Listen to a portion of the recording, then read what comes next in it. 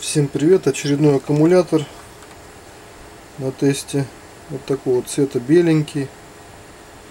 Никель кадмиевый на 900 миллиампер часов.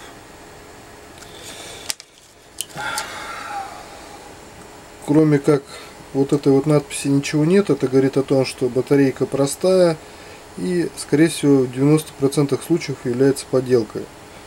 А кривая наклейка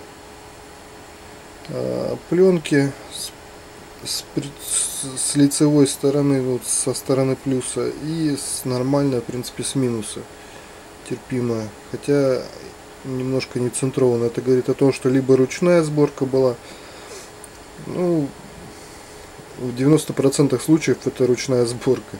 Потому что то оборудование, которое на заводе стоит, оно как бы не позволяет так криво все это сделать.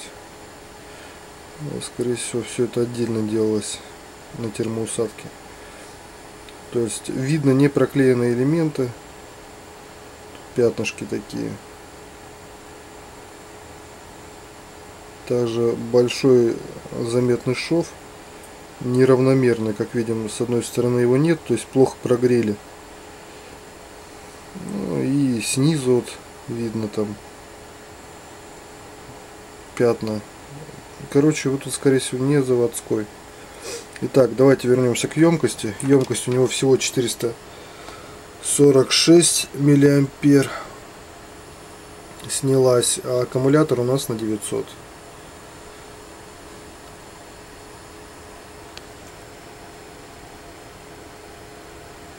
Если мы заново начнем как бы разряжать, то, соответственно, у нас напряжение поднимется до одного с чем-то вольта и как бы по чуть-чуть еще емкости он отдаст, так как батарейки сразу всю емкость не отдают. Но я этого не делаю, мне интересно именно сколько за один раз может отдать батарейка, а не того, отдохнет она и сколько потом еще сможет. Потому что все на это как бы рассчитаны. Ну, только для часов подойдет, например, данный аккумулятор. А никель кадмиевый я ищу аккумуляторы, подбираю. Почему? Потому что хотел заменить в дреле, то есть на 1,2 вольта сделать банк.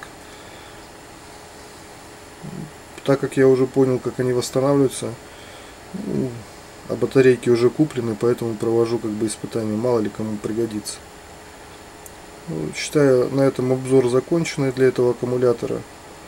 В принципе, из 10-бальной шкале 2 балла всего данному аккумулятору.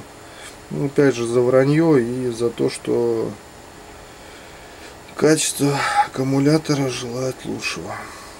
На этом все. Всем спасибо. Удачи.